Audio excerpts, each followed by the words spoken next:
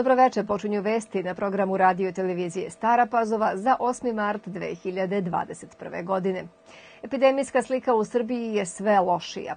Bolnice su pune i sve je više obolelih sa teškom kliničkom slikom. Prema poslednjem preseku u Srbiji je od posledica zaraze koronavirusom preminulo 17 osoba, a od testiranih 13.500 uzoraka na koronavirus je pozitivan 4091. Na respiratoru se nalaze 176 pacijenata. Na teritoriji Staropazovačke opštine tokom vikenda registrovano je 49 novozaraženih sugrađana. Broj trenutno aktivnih slučajeva iznosi 257, pokazuju zvanični podaci Zavoda za javno zdravlje Sremska Mitrovica. Ministar prosvete Branko Ružić je izjavio da odluka da srednjoškolci pređu na online nastavu od 8, od 8. do 12. marta predstavlja jednu od mera koju, koja treba da pomogne da se spreči dalje širenje koronavirusa.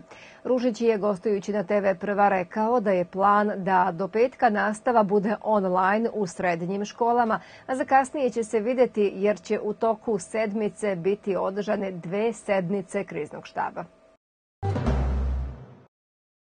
Deceniju nakon početka dijaloga Beograda i Prištine pod pokroviteljstvom Evropske unije čini se da suštinski napredak nije postignut, ali i da će dijalog trajati još dugo, ocenjuju učesnici konferencije 10 godina dijaloga između Beograda i Prištine kako dalje.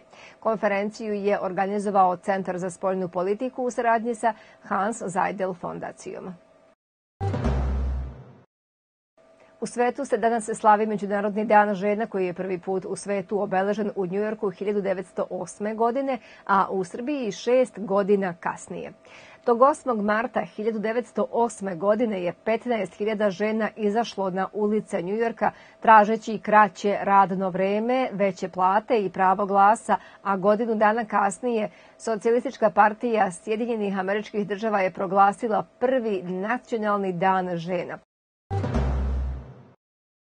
Savet za bezbednost saobraćaja opštine Stara Pazova u skladu sa programom korišćenja sredstava za finansiranje unapređenja bezbednosti saobraćaja na putevima na području opštine Stara Pazova za 2020. godinu raspisao je javni poziv za podnošenje zahteva za dodelu besplatnih dečjih autosedišta za decu rođenu u toku 2020. godine.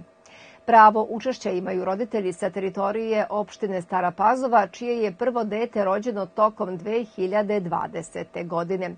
Uz zahtev potrebno je priložiti sledeću dokumentaciju dokaz o prebivalištu podnosioca zahteva i izvod iz matične knjige rođenih deteta može fotokopija.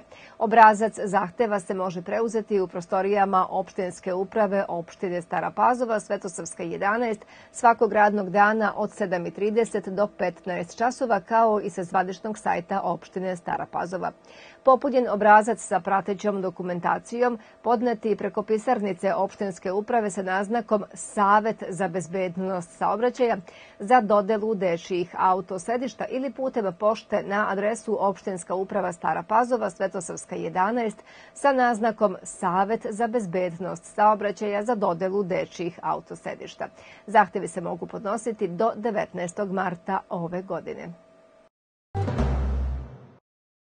Tokom protekle nedelje u osnovnoj školi Rastko Nemanjić Sveti Sava u Novoj Pazovi u organizaciji Udruženja građana Naše mesto, Naša briga, a u saradnji sa fondacijom Tijana Jurić realizovana je zapažena radionica sa učenicima šestog i sedmog razreda o bezbednosti na internetu i o opasnostima koje vrebaju sa društvenih mreža.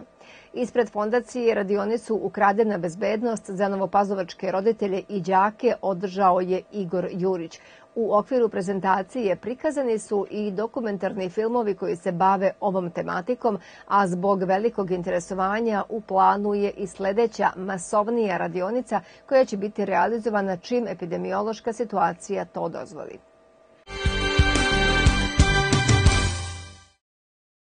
Najmlađa ekipa u Superligi Srbije plasirala se u polufinale play-offa. U subotu su u revanš utakmici četvrt finala odbojkašice jedinstva savladale Crvenu zvezdu rezultatom 3-1 u setovima 25-23, 25-22, 27-29 i 25-23.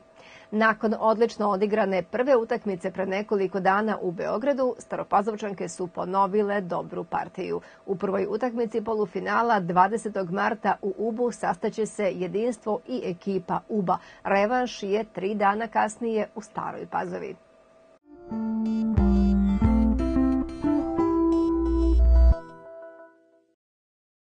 Sutra na severu malo i umereno oblačno i suvo, u južnim i centralnim delovima oblačno, mestimično slaba kiša, na planinama sneg, vetar slab severoistočni. Temperatura od minus 2 do 7 stepeni, u toku noći sneg, ponegde i u nižim predelima. Prognozom vremena završavamo vesti, a drage dame, vama čestitamo 8. mart, Međunarodni dan žena.